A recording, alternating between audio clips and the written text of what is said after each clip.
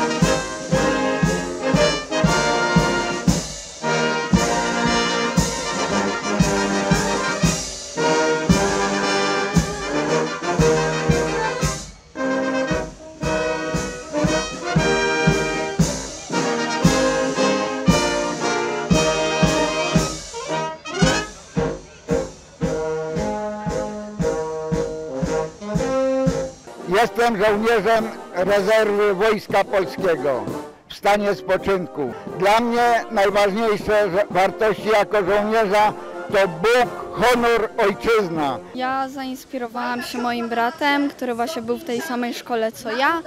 No i tak mnie wzięło, żeby po prostu dołączyć też do tej szkoły i stwierdziłam, że to jest to, co chciałabym w życiu robić. No, według mnie to jest bardzo dobra opcja właśnie jako zapoznanie się z różnymi no, jednostkami, bo różna, każda z nich ma jakby coś innego do zaoferowania i po prostu jest to ciekawe. Według mnie. I wydaje mi się, że nie tylko ja tak uważam, nie? Da się e, tutaj zobaczyć pełno rzeczy, przez które możemy się nauczyć. E, co do broni, co do wszystkiego. Możemy przetestować, czy to w ogóle nam się podoba, czy chciałobyśmy to robić w życiu. Także bardzo polecamy.